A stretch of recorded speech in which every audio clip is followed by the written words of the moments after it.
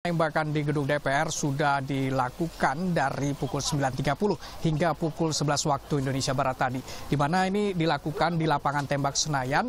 Tadi uh, kepolisian dari Polda Metro Jaya ini membawa kedua orang tersangka, Imam dan juga Riki, di mana kedua tersangka tersebut ini melakukan sekitar 25 reka adegan.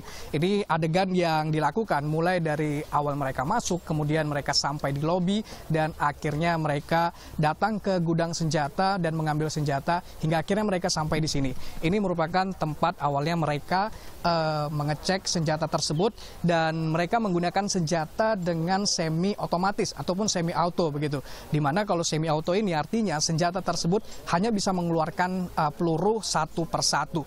Namun uh, kedua tersangka ini yang ditemani oleh uh, dua orang pendamping begitu akhirnya mereka melakukan tembakan ini di lapangan yang ada di sebelahnya, tepatnya di sebelah sana di mana akhirnya uh, senjata yang mereka gunakan yang tadinya ini semi otomatis kemudian diubah begitu ini menjadi senjata otomatis dan menurut dari kepolisian tadi ini sebenarnya secara uh, hukumnya ini tidak diperbolehkan untuk olahraga. Namun ini merupakan kelalaian dari dua pendamping tersebut.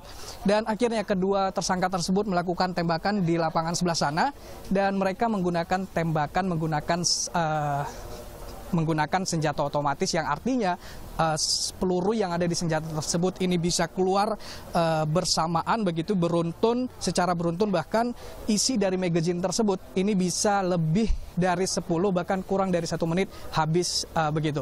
Dan sebenarnya kalau kita lihat bagaimana akhirnya peluru-peluru tersebut bisa sampai ke gedung DPR ini masih dilacak oleh uh, penyidik dari Polda Metro Jaya, Enda Tarigan, Aditya Mustaqim, melaporkan untuk NET.